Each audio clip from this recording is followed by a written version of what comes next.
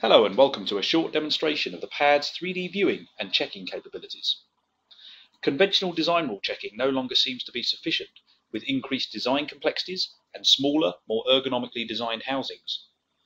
The PADS 3D viewer provides you with a three-dimensional view of the populated PCB with DRC violations for improved visualization of layout problems. These 3D DRC violations can then be cross-probed back to the layout for fixing. It also supports the import and translation of mechanical parts, for example, the casework, screening cans, or heatsinks, to see how assemblies fit together. Individual components can be hidden, or the entire layer so that you can see what is underneath. So, PADS provides a very powerful 3D viewing and checking facility, which can be used to catch errors prior to exporting the PCB design to Mechanical CAD.